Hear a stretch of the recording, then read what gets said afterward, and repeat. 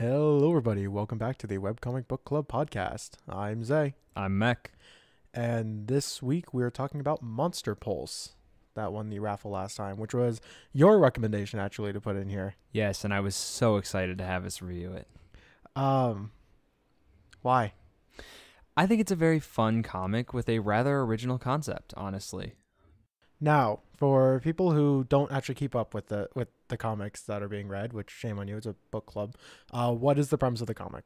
The premise of the comic is there's a secret like group or a secret military operation or um, government operation creating what are called ghosts, which are basically a manifestation of a certain type of energy. And when these ghosts come in contact with a human, they will um, be they will essentially possess a part of that human and remove it from the host. That part will become a monster um, and will basically just follow the human's commands for the most part. It basically just becomes a pet almost for in most cases. And it basically it follows a girl named Bina who her heart was what was taken. All right, you did a pretty good job. Um, there's actually like four main characters. Um, there's oh jeez, I have them written down, but Bina. Julie, um, oh, Bina, Bina, whose heart, Julie has her hair that was taken. Uh, I only remember Rixus. I don't remember the guy who owns him. um, and Guzzy, who has West. West. Thank you. I, also- remember the monsters. I also don't remember the guy's name. I think it's Kyle or something stupid like that. no, I- it was it was it's something never he chose. something simple. It, it was something he chose because he thought it sounded cool, Yeah, so- which much- makes it really hard to remember. Yeah. Um, So I'm actually really happy you recommended this comic. I really enjoyed it. Yeah, I thought you might. It's interesting, it's a little bit quirky, and it's got a very set art style. I actually that was one of the first things I'll talk about. The art style changed hugely. Not so much changing from one style to another as much as just massive improvement. Yeah, I would give you that. I mean, it seems though they experimented a lot with different uh, art styles for it. Uh, a couple arcs were um, kind of the cliche comic book style. Um, other ones were like super thick outlines, super thin inlines, things like that. So they were definitely experimenting. They were having a lot of fun with it. Yeah. I mean, it was never a case of like they just didn't know what to do. It seemed as though they were just working to improve what they were doing. Yeah. So I can't really complain much about this, and that's always something that I have to worry about is a long-running comic having a lot of art discrepancies. Which, by the way, this comic has been running since May of 2011. I'm And- super impressed with that. And it's still updating It's still updating. consistently. yes, and that's fantastic. And didn't they uh almost immediately start doing like three comics a week type of deal? Something like that, yeah. Yeah, it's, Yeah, they almost instantly went into a very fast paced schedule. which makes their art style like amazing. Yeah. I it's not colored. Only recently has it been colored, but Yeah. for the longest time, like it was completely excusable not to be. It was completely okay. It was perfectly fine to, Yeah, they The, were able uh, to compensate for the lack of color very well. hmm uh, except for the heart. Yeah, the heart was a little bit difficult, So the heart is blue. but the way they compensated for it without color was by making it black. Yeah. So I don't know why, but even though the icon for the comic is like the blue heart, the top banner for the comic it has the blue heart in it, and recently the the it's all been in color, so I see the character as blue all the time. I still think it's supposed to be red. I just every time I think of the freaking character, it's like it's red. Yeah, it's I- red. it's red. It makes no sense. Like it's red in my head, but it's it's blue everywhere else. Yeah. Um, I have that same issue with Rixus. I can never remember that he's green. Really, what color do I you always think, think he's supposed to be white. That makes a lot of sense. So Rixus is uh, that character's eye that was taken instead. And it's basically this little draconic thing that can fly around. Uh, we should mention that these organs are all usable at, for their original functions. They're just detached from the body. So Bina's heart still acts like a heart. It still circulates her blood. It's just not in her. Uh, what's his nuts can see through Rixus. What's his nuts? Abel. His name is Abel. Abel. His name is Abel. Okay. Um, uh, that's actually uh, you had the Poltercast page for that, but honestly, I don't remember either. Um, one thing that I thought was very funny about this, and I don't know why, but the comic page, I, the comp, the page setup is very good. This person is a very, very competent artist, very competent at what they do, and they've been doing this for a very long time. Um, but I love how their cast page and about page are the exact same thing.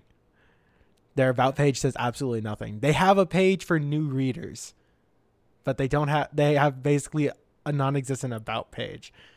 I I find that funny.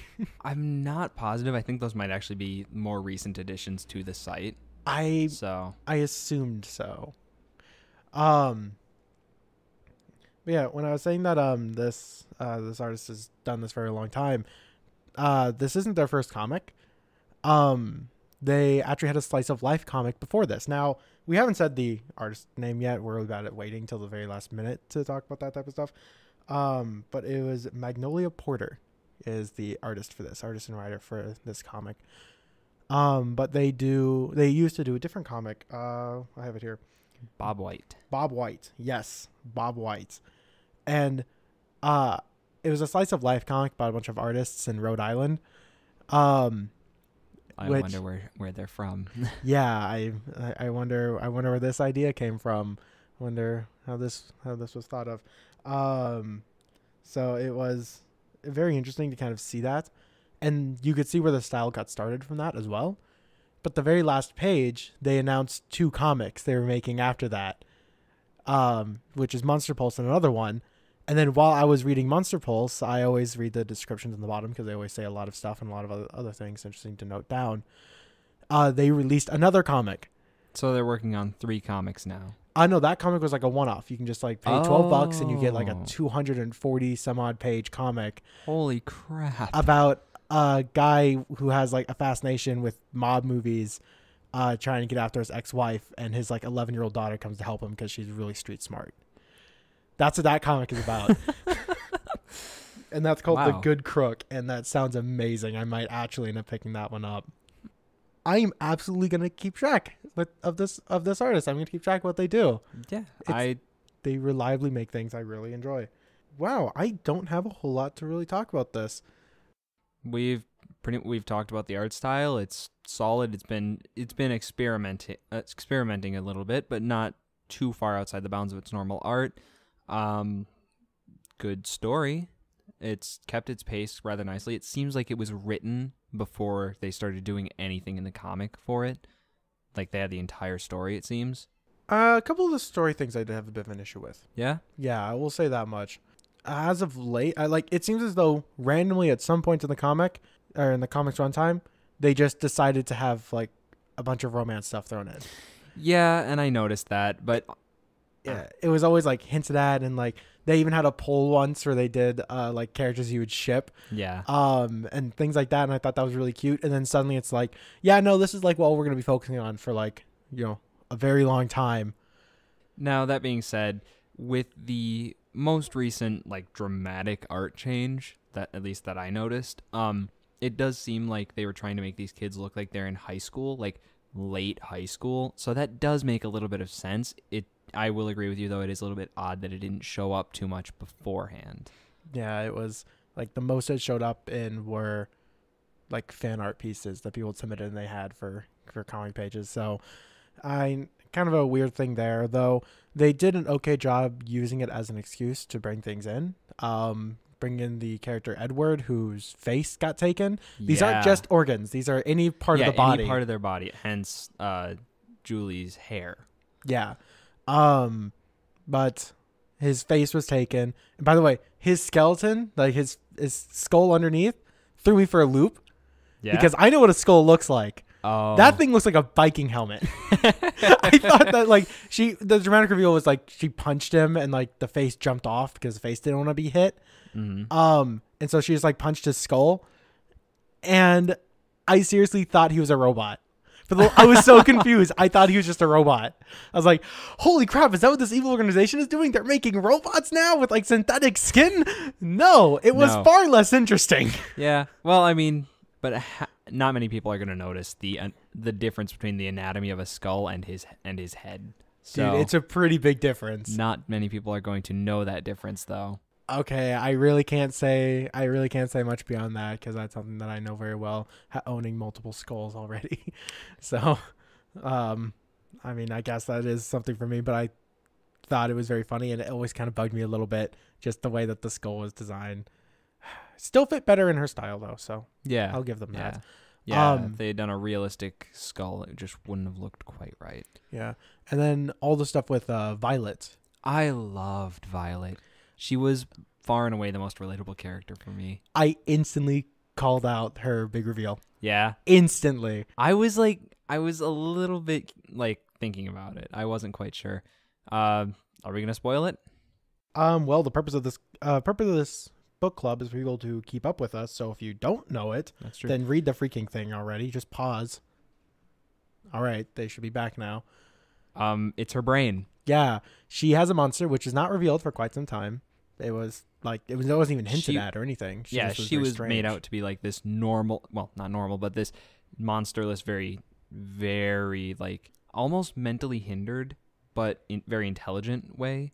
Yes, the type where they have no social cues anymore. yeah, that type of way. Yeah. Um, and I always thought she was just very strange, but then people kept on saying it's like, oh, you know, she just kind of like started getting all this strangeness, and like when they went to went to her house and like you saw photos of her like playing soccer and all happy, I was like, Yeah. she has a monster. It's a brain. It's like it just now, did you call why she doesn't have those emotional cues anymore? no, I didn't. That I thought was kind of interesting. That is very interesting. I so, I very uh, much liked that. all the reason why she kind of lost all the emotional cues was when she kind of lost her brain but gained a pet. Um, if only Well, I had a brain. To be fair, it, they count themselves as the same being. Yes. Um, but when that happened, uh, basically all their emotions got amplified. Yeah, just all every part, every aspect of her brain power got amplified, including emotions. So to have emotions was to be very, very like problematic, basically. Very So easily they- overwhelmed. Yes, and so they stopped it. They just stopped having emotions or Yeah. the repressed emotions and the like. Um, Yeah. but actually thought she was very interesting because she thought she was perfect because of that brain power. She thought she could never make a mistake and everything she was doing was for the better of everyone. And then it was revealed to her that like, no, you messed up with this, severely messed up, and you need to go fix it. And so that's kind of where she went. So Yeah, it it kind of broke down that wall of like her trying to be the one who's be who's trying to be better than everyone else.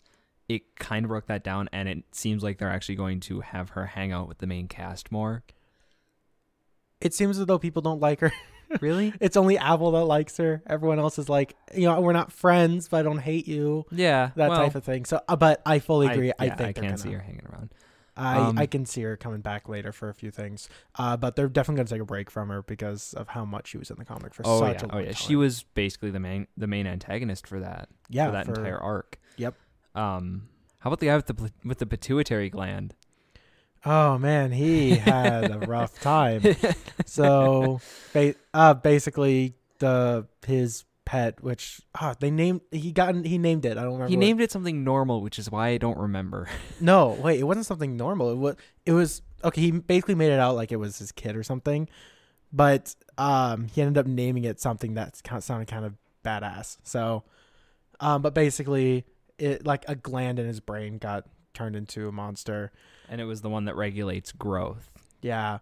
And so the monster thought he was being very childish, so it turned him to a child. Yeah. Um which is funny cuz when they like caught him and brought him like saved him from the evil organization which by the way is called shell i thought that was a little bit funny because that's the name of a gas company um but you know, gas, ghosts, monsters, they're all the same thing. I was gonna say evil corporation, evil corporation, and gas company. But Oh. um, when he uh they broke him out of there and brought him back, He's like, "Where's my jacket? Where's my jacket?" And they're like, "Oh, it's it's right here." He's like, and he immediately whips out a bunch of cigarettes and tries Yeah. to slide up a cigarette. I thought he was gonna be like this on the streets kid. I thought so point. too. I did not see that coming at all. What had happened, and then he was so amazed, like, "What happened to me?" Like, "Wow, why am I a child?" I was like, "I don't know either, dude." Yeah. and then, you know, he makes it with his girlfriend and they are now raising the monster in in preparation for having a kid someday, which is super kind of adorable. Yeah, it is kind of adorable. Especially considering, you know, the monster's going to be harder to raise. I mean, your kid can never turn you into a smaller being than y- than it. So, yes, but I I can't think of it like anything that a kid can do worse. But I mean, whatever. Um, kid can ruin you emotionally. That was interesting. And then later on, when um, uh, when they run into him in the street market, and he just has him in like a, Yeah. like the a baby pouch. yeah, like, like a baby pouch on his chest. I thought it's so cute. I love that. I love the pituitary the pituitary gland. Wow. Uh, for how long this comic has been running, there's not like a whole lot that we can really speak of it. There's we not, ran and over it very well. I think the main issue is we both liked it. yeah, Huh.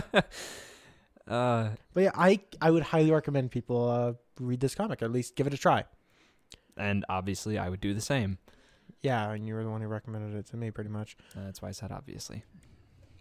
All right, so should we roll the next one? It seems too early to roll for the next one. It does. We're only like what 16, 17 minutes in. Uh, yeah, about. So I'm. Wow, I guess we'll just roll for that. Th- We don't really have a set time for this. We have a max time for this, so Yeah, I have a- guess yeah. let's just. So yeah, roll let's it. roll it. So the next comic we're going to be reading is Kiwi Blitz. Ooh, this sounds interesting. Now, this is I actually was thinking like, oh man, what are the odds we're gonna get Kiwi Blitz? Oh, that's never gonna happen because there's a fucking that the artist for Kiwi Blitz did a guest comic for Monster Pulse. Are you really? Yes, I'm 100% serious. One of the guest comics early on was from this artist. What a great segue then. That is a fantastic segue. So I rediscovered Kiwi Blitz. I Yeah. had stopped reading it for the longest time, um, but from what I remember of it, I kind of just refound it, through it in the list. Yeah.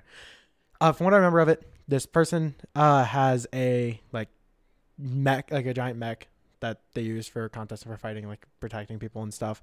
Um, and they're kind of common for people to have, or not common for people to have, but it's a thing that people can have. Like you can get one It's of these. It's not rare to have one. Yeah, it's kind of like a really really nice car. Think of it that way.